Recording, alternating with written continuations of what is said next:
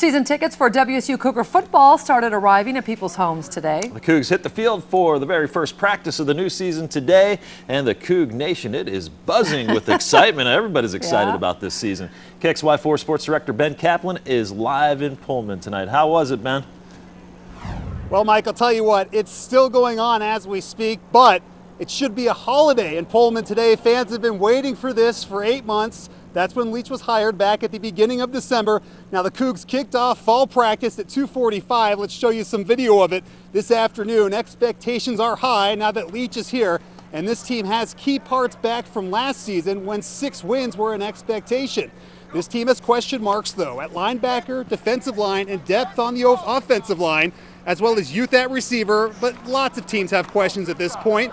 There's so much reason, though, for optimism. Leach says the first week or so of camp, though, will really focus on the fundamentals tackling, blocking, things the Cougs have had issues with before, and Leach says can always use improvement. Sophomore quarterback Connor Halliday was back at practice today. Of course, he missed the bulk of the spring with that liver laceration issue. It was nice to see him back out there, although Jeff Tuel, as of right now, number one on the depth chart.